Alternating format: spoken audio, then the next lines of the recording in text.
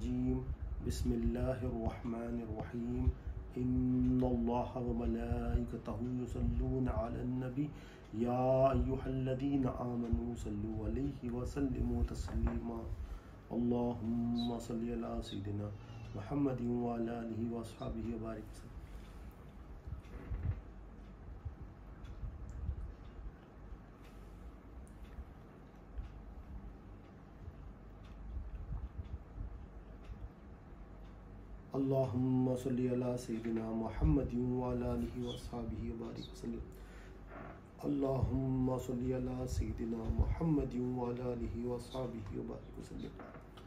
अल्लाह ताला का बेअंतहा फजल करम है कि उसने हमें नबी करीम सल्लल्लाहु अलैहि वसल्लम की मदद में पैदा फरमाया और पैदा होने का फ़ख्र ना फरमाया।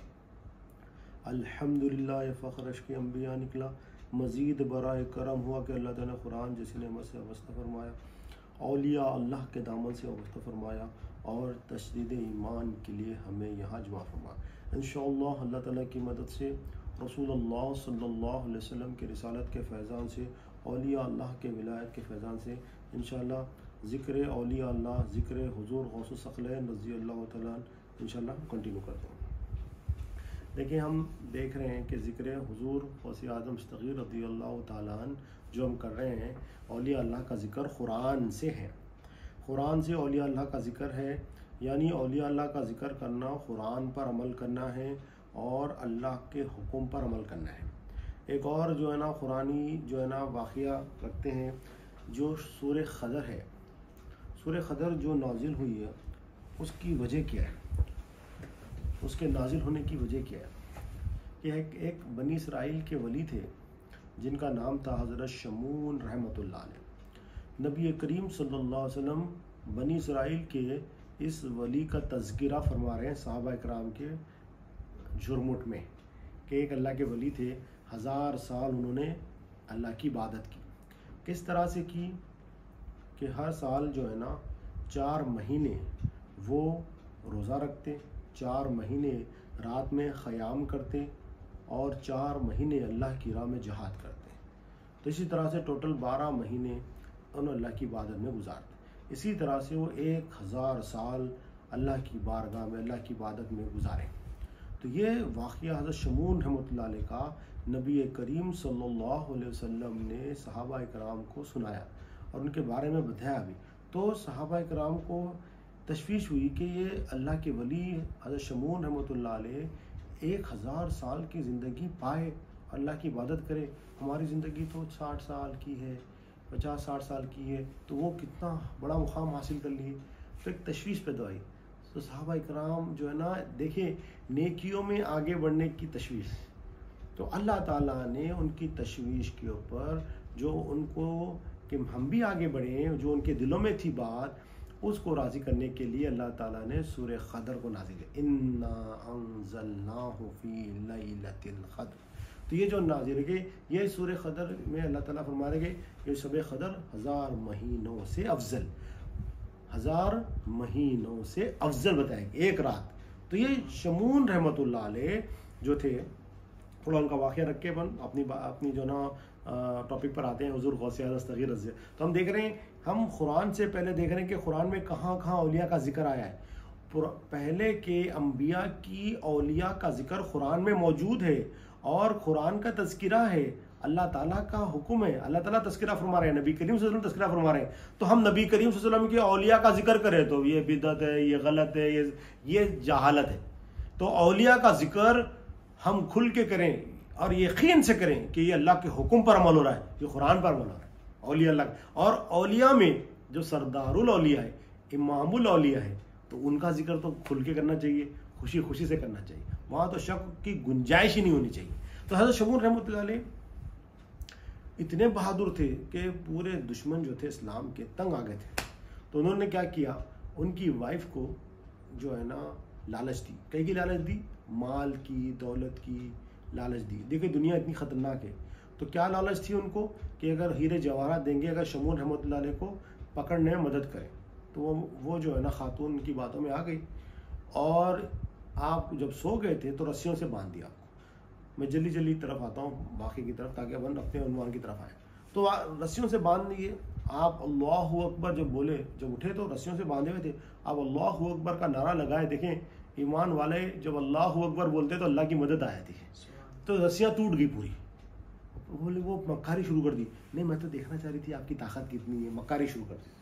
फिर दूसरे दिन उसने क्या किया? जंजीरों से बांधा।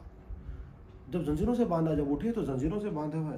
तो आपने अल्लाह अकबर का नारा लगाया। और जब एक छटका दे तो जंजीरें भी टूट गई।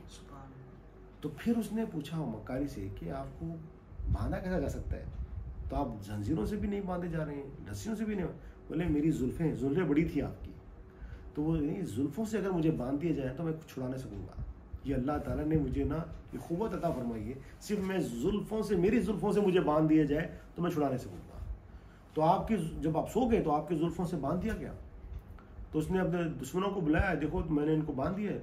वो लोग आ गए आपको शहीद करने के लिए वो इसने ले लिया हीरे जवाहरात। और वो लोग शहीद करने आए, और शहीद करने के लिए पहले आपके कान काटे, आपकी नाक काटी। आपकी आँख निकाली जब जब ये कर लिए तो आप अल्लाह की तरफ़ बोले, मौला, मैं लावारिस थोड़ी हूँ। तू मेरा मालिक है, मैं तेरा बंदा हूँ, मेरी मदद फरमा। ये लोग मेरे पे हावी नहीं हो सकते, तेरी मर्ज़ी के बगैर। तो अल्लाह ताला ने अजाब भेजा, बिजली कड़की, और बिजली की कड़क में ये जितने थे जल गए पूरे। और वो भी जलना, वो भी जलने लगी उसकी। वो जो बीवी थी, वो भी जलने लगी। और अल्लाह ताला ने आपको बचा लिया। अल्लाह ताला ने कान भी आपको वापस लौटा दिए आँख भी वापस लगाए नाक भी वापस लौटा दी तो ये वाक़ था हज़रत शमून रहमत का। तो बात किया है कि दुनिया की खातिर उसने अपने शोहर का सौदा किया उसने। अल्लाह ताला हिफाजत फरमाए तो दुनिया इतनी ख़तरनाक है ये। तो एक अल्लाह के वली। तो ये अल्लाह के वली का वाक़ सुनकर साहबा इक्राम को एक साल एक हज़ार साल इबादत करने का जो जज्बा पैदा हुआ तो अल्लाह ताला ने सूर्य खदर नाजिल फरमाया। तो शान नजूल इस सूर्य का, औलिया एक वली का ज़िक्र है। एक वली के ज़िक्र का। वली के अंश बनी इसराइल के वली। अब शब खदर की तलाश होती है। ताख रातों में तलाश करो, रमज़ान में शब खदर की बड़ी अहमियत है। बेशक बड़ी अहमियत है, मगर उसका शान नजूल क्या है? उस उस रात में जो, उस रात का जो शान नजूल, उस सूर्य का जो शान नजूल है, जिसमें उस रात का ज़िक्र है, वो एक अल्लाह के वली, बनी इसराइल में जो वली थे, उनका तस्करा है। तो हम कुरान से हर दिन देख रहे हैं कि कुरान के हाँ, वली का ज़िक्र कुरान में कहाँ पर आया है? फिर हम नबी करीम सल्लल्लाहु अलैहि वसल्लम के जो वली हैं सरदारुल औलिया इमामुल औलिया उनका ज़िक्र करें।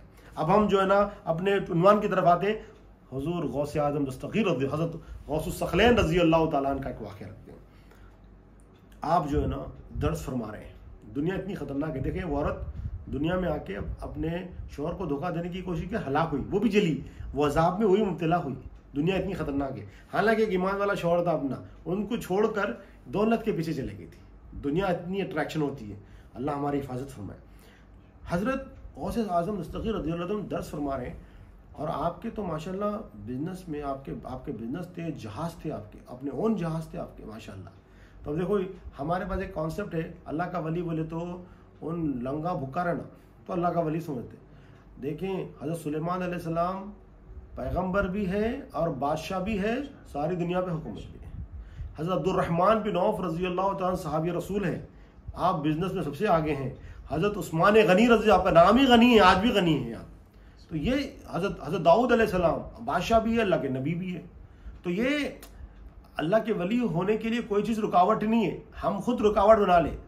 जो अल्लाह ताला जिस सलाहियत का हमें मालिक बनाया मालिक तो नहीं बनाया, जिस सलाहियत हमें दी है, अमानत दी है हम उस सलाहियत में अल्लाह के खुरब को हासिल कर सकते हैं। कोई चीज़ रुकावट नहीं बन सकती इसके। हज़रत, हजूर गौस आदम सग़ीर रज़ी दरस फरमा रहे हैं। एक मुरीद आगे का हज़रत एक जो आपका जहाज़ जो आ रहा था ना, वो डूब गया। तो आपने थोड़ी देर के लिए खामोशी इख्तियार की, फिर कहा, अल्हम्दुलिल्लाह। फिर जब दस चलते रहा, फिर वो शख्स आया दोबारा आके कहा, या सईदी, वो जो ख़बर थी जहाज़ डूब गया है, वो गलत थी। अपना जहाज़ साहिल पे लग गया है वो सालिम था, कोई डूबा नहीं, कोई नुकसान नहीं हुआ। तो आपने अपनी थोड़ी देर खामोशी इख्तियार की, आपने कहा, अल्हम्दुलिल्लाह। जब बयान ख़त्म हो गया, जब आपका ख़ताब ख़त्म हो गया तो मुरीदीन ने पूछा, हज़रत, आपकी एक नई सुन्नत देखें। तकलीफ़ अगर हुए हो तो इन्ना लाही व इन्ना रोजुन बोलना है। और आपने अल्हम्दुलिल्लाह कहा। और ख़ुशी में भी आपने कहा, अल्हम्दुलिल्लाह। तो दोनों जगह आपने अल्हम्दुलिल्लाह कहा। बात समझ में नहीं आई। तो हजूर गौस आदम सग़ीर रदी अल्लाह शर्माते हैं, देखो, जब मुझे नुकसान की खबर मिली तो मैंने अपने दिल का जायज़ा लिया। मेरा दिल अल्लाह से गाफिल तो नहीं हुआ, परेशान तो नहीं हो गया। अब हम देखें छोटी छोटी बातों में हम अल्लाह से दूर हो जाते। छोटी छोटी बातों पे। खाना नहीं मिला तो अल्लाह से दूर हो जाते। नींद पूरी नहीं हुई तो अल्लाह से दूर हो जाते। कपड़े स्त्री नहीं हुए तो अल्लाह से दूर हो जाते। अपने अपने अपनी चिंदी हरकतें कैसे छोटी छोटी बातों में छोटी छोटी चीज़ों में अपन क्या करते हैं? अल्लाह से दूर हो जाते घर वालों को भी दूर कर देते अपन भी दूर हो जाते छोटी छोटी बातों में। बड़े बड़े तो अपन तो हवा भी नहीं लगी अपने को बड़ों चीज़, बड़ी चीज़ों की। छोटे छोटे समय हाल है हमारा। क्यों ऐसा हाल है? क्योंकि हम अल्लाह अल्लाह ताला इलाह है, अल्लाह मेरा मालिक है, अल्लाह मेरा हाजत रवा है, ये अपने अंदर तस्दीक नहीं हुई। देखो, एक जो गाय है ना, एक गाय जो है ना, जब किसी को मालिक मान लेती है तो मज़े ऐसे रहती है। उसको खाने की फ़िक्र नहीं रहती, पीने की फ़िक्र नहीं रहती, उसको जो है ना बारिश की फ़िक्र नहीं रहती, उसको हगने की फ़िक्र भी नहीं रहती उसको गाय को, जो भैंस होती है। और भैंस ठहरी भी रहती है उन, उसको गोबर आया तो उन गोबर कर देती, टॉयलेट आया तो टॉयलेट कर देती ठहर कर देती। खाना आया तो उन मर मर के भाग भाग के लाके खाना डालता हूँ। उसके बाल बढ़ गए तो भी उसको फ़िक्र नहीं है। उसके बाल बढ़ गए तो फ़िक्र नहीं है उसको उसको नहाना है, गाय को नहाना भी है था, भैंस को नहलाते भी। तो नहलाने की तक, कौन नहलाता? नहलाने का इंतज़ाम भी इन करता। तो क्या है मालिक जो होता है मालिक को अपने मिल्क की फ़िक्र होती है। तो जो मालिक जो मालिक है उसका जो गाय का गाय के जिस जिस गाय जो जो गाय जिस अस्तबल में है वो मालिक क्या करता? टाइम पे खाना भी देता उसको पानी भी देता उसको नहलाता भी उसको बाल भी काटता उसके। फिर जो है ना वो गोबर कर ली तो गोबर भी उठाता उसका क्योंकि अगर गोबर नहीं उठाए वो पेशाब कर ली तो पानी भी मारता वहाँ पर। पानी मार के सफ़ाई करता क्योंकि बीमारी आ गई तो मर जाती बोल के। तो एक मालिक इंसान, एक गाय के लिए, और मालिक कैसा है, अल्लाह ताला निशानी दे रही है समझाने के लिए। तो गाय जो है ना, ठहरी भी रहती, दूध टाइम पे देती, बात ख़त्म, बाकी का पूरा काम उन करता। अगर हम जो है ना, अल्लाह के हवाले हो जाए, एक इंसान जब गाय को अपनी मिल्क समझा, एक इंसान हालाँकि मालिक नहीं है, इन समझा ये मेरी मिल के बोल के। समझा तो इतनी फ़िक्र कर रहा। अल्लाह तो मालिक है। अल्लाह तो हकीकी मालिक है। तो अल्लाह ताला कैसा? अल्लाह ताला अपनी शान से हमारी परवरिश करेगा इंशाल्लाह। तो हम अल्लाह के हवाले हो जाए, बोले, मोला, तू मेरा मालिक है। तो आप कहते मैंने अपने दिल की तरफ़ तवज्जो दी। कोई तकलीफ़ में तो नहीं आया? बोले, नहीं आए अल्लाह की तरफ़ रुजू है, अल्लाह की तरफ़ रुजू है। मेरा, अल्हम्दुलिल्लाह, तेरा शुक्र है मालिक। नुकसान हुआ तो नुकसान की तरफ़ दिल नहीं गया। तेरी तेरी बारगाह में ही है और तेरी तरफ़ ही रुजू है, तेरी तरफ़ ही झुके हुआ है। इसीलिए मैंने अल्हम्दुलिल्लाह कहा। मैं नुकसान की तरफ़ नहीं देख रहा, मैं अपने दिल की तरफ़ देख रहा हूँ। अब इसी तरह जब खुशी आई, जब खुशी आई तो मैं अब खुशी की तरफ़ नहीं देख रहा। मैं अपने दिल की खुशी में क्या होता है लोग? शादी होती, सुबह में फजर की नमाज़ गए। शादी हुई तो शादी इतनी अच्छी अच्छी बात है ना भाई। सुन्नत है नबी करीम वसल्लम की।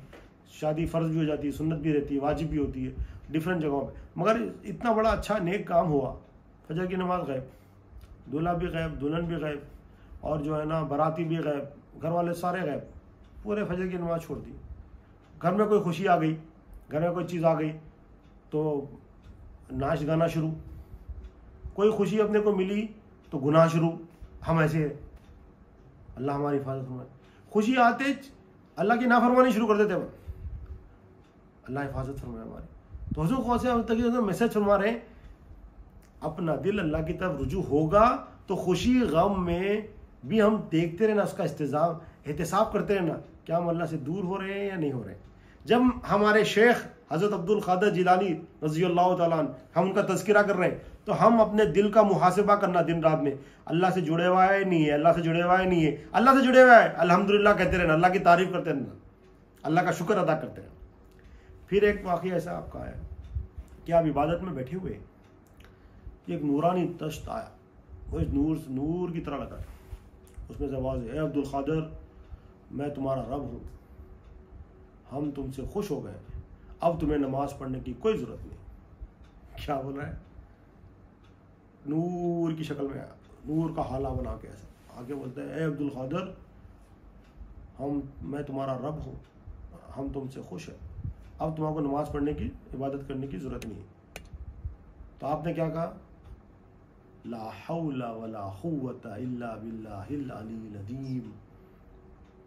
कोई तारीफ़ करते तो हम बड़े खुश। ओ भैया बहुत अच्छा बयान करे। आ हाँ बहुत अच्छी तकरीर करते हो तो फुल मस्त हो जाते आपने कहा, ला जैसे ही आपने कहा, वो जो नूर का हाला बना गया टूट गया, भागने लगा, इबलिस था वो। आपने कहा मेरे आखा नबी करीम सल्लल्लाहु अलैहि वसल्लम नमाज़ पढ़ते रहे। मैं कहा?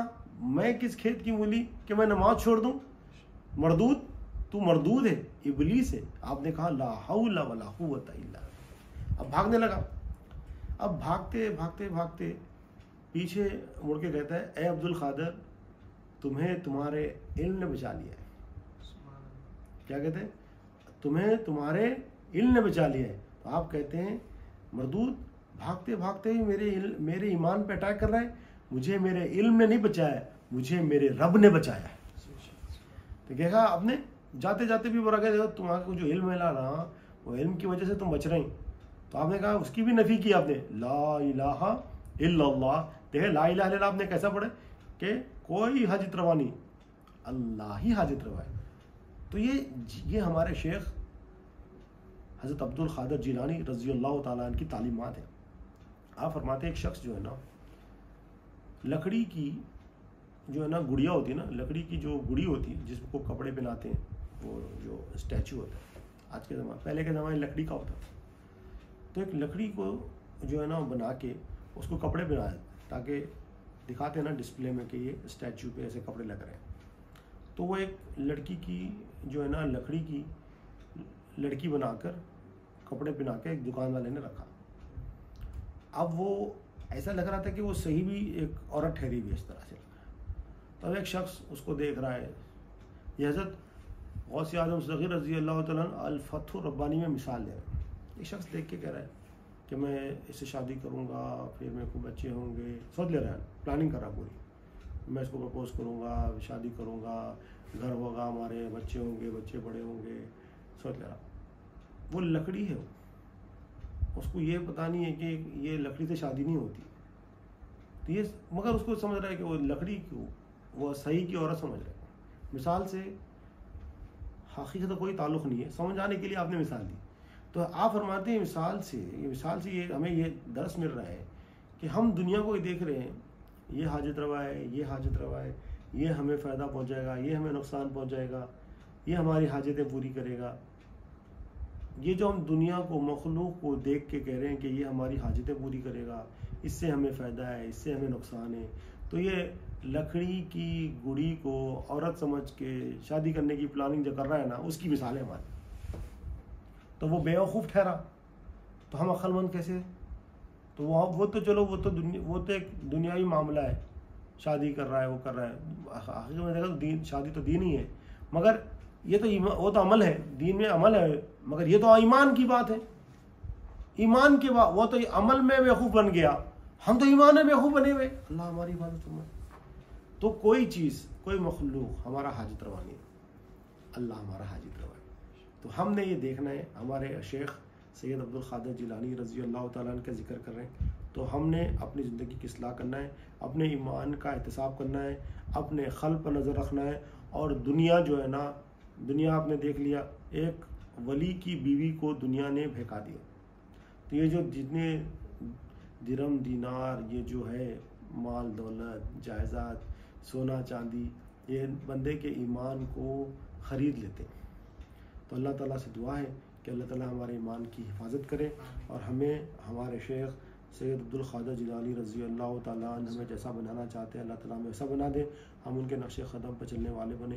अल्लाह ताला हमें दुनिया मासीबा की मोहब्बत हमारे दिलों से निकाल दे।